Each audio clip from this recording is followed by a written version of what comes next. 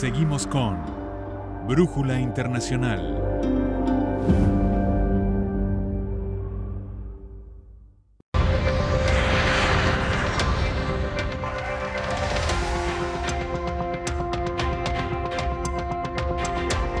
En la diplomacia y las relaciones internacionales es fundamental la interpretación. De hecho, en Naciones Unidas eh, son idiomas oficiales, entre ellos el español, el árabe, el alemán, el ruso, el chino. Y naturalmente, en el caso nuestro, acá en Venezuela, eh, muchos originarios de otros países que están acá aprovechan además de su vida profesional de hacer de intérprete. Este es el caso de Salam Bustayi, eh, quien viene del Medio Oriente y es intérprete. Pero antes de la pregunta directa sobre la interpretación, ¿cómo te sientes tú que vienes de un mundo que está en guerra ahora y vives en un país en paz?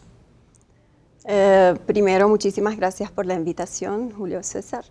Eh, sí, efectivamente, nosotros en Siria tenemos un proceso de, de guerra y em, le doy las gracias a Dios eh, de, de, tener aquí que vivir eh, un, proceso, un proceso pacífico. Sobre todo los hijos están en la escuela, claro, están ya incorporados a la vida nacional. Por supuesto. Em, en este tema también es muy importante resaltar que el, el el vivir aquí eh, en un país como Venezuela, un país de oportunidades, eh, es una, eh, es, un, es una, no sé si lo llamaríamos suerte, cosa de suerte, porque uno puede desarrollarse a nivel personal y profesional de una manera muy positiva. De hecho, estás haciendo estudios actualmente, ¿no? Correcto, acabo de terminar mi MBA, eh, estudios de maestría en administración en el IESA. Eh, también actualmente estoy cursando el segundo trimestre en uh, ingeniería de sistema en la, metro, en, la, en la, metropolitana. Y en la parte de actividad profesional estás muy vinculada al emprendimiento, ¿no? Correcto, de hecho tenía un programa a principios del año en la radio, radio por internet, eh, precisamente que toca el tema de emprendimientos aquí en Venezuela. Eh, aunque en Venezuela estamos viviendo una crisis, cierta crisis económica, sin embargo, hay muchos emprendimientos que están surgiendo. Y la crisis se está volviendo como una oportunidad disfrazada para algunas personas que saben cómo interpretar esas oportunidades. ¿En qué casos, por ejemplo? ¿En qué situaciones?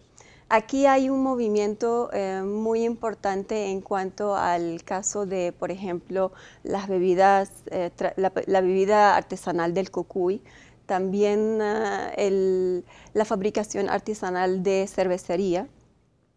Eh, también hay unos productos, por ejemplo, tipo arepas o pelarepa, eh, que están saliendo al mercado de muy buena calidad, que antes no tenían eh, oportunidades de estar en los supermercados o en los establecimientos comerciales porque había mucha competencia. Sin embargo, por la misma crisis, hoy en día sí pudieron eh, salir al público. Una experiencia en la radio sobre este tema, ¿cómo ha sido?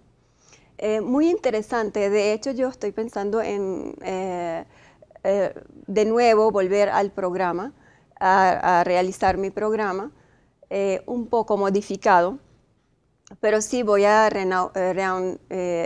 reiniciarlo de nuevo eh, y porque efectivamente hay muchos movimientos en, en, el, en, el, mundo de negocio. Claro, hay una crisis, eh, todo el mundo sabe que hay una crisis, pero también hay muchas oportunidades y hay muchos negocios nuevos.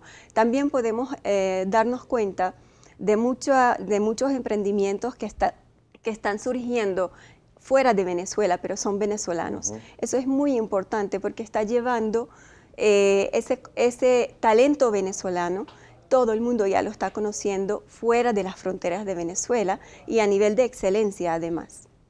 En el caso de muchas de la diáspora venezolana, ¿has tenido contacto con ellos, sobre todo en algunos emprendedores? Sí, eh, hay, un emprende hay unos emprendedores, por ejemplo, hay un emprendedor que presentó un proyecto de, en el Silicon Valley eh, de um, un sistema de medicamentos Uh -huh. eh, de consultas de eh, médicas. Él estructuró unas consultas médicas por teléfono y fue muy exitoso. Lo, lo presentó allí de una vez, eh, fue invitado a Dubái, si más no recuerdo, para presentar su proyecto allí. dado que tú conoces la cultura árabe, dominas bien el árabe, eh, la relación con el mundo árabe también no te impulsa algunos proyectos, llevarlos allá de la experiencia venezolana. Eh, no entendí la pregunta.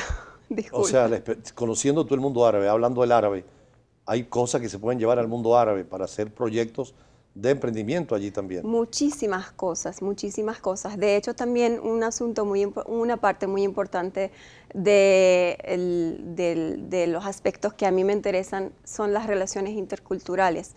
Eh, en materia de emprendimiento de empresas familiares, es muy importante también el modelo de empresa familiar, tanto venezolano como el modelo familiar eh, árabe, en especial porque aquí tenemos un eh, muchos, muchos árabes, muchos comerciantes árabes que han emprendido sus comercios desde, desde, cero y formaron sus empresas y tienen ahorita mucho éxito. En la parte de interpretación que has hecho, porque también el hablar el árabe, el dominar el español, muchas embajadas o muchos comercios exigen, buscan el técnicos o especialistas como en tu caso. Correcto. Yo tuve experiencias de trabajo con embajadas. Muy grato es trabajar con las embajadas árabes aquí. Eh, sin embargo, mi dedicación al desarrollo, al desarrollo de, eh, profesional y académico me impide cumplir con los horarios más que todo. Eh, sin embargo, sí, a veces ofrezco mi, mis asesorías en cuanto a traducciones y consultoría tipo freelance. Eh, para, para el mundo diplomático. Bueno, muchísimas gracias a Salam Bustaji. Ella es de origen sirio, es eh, emprendedora, tiene un programa de radio sobre emprendimiento y además ahora con estudios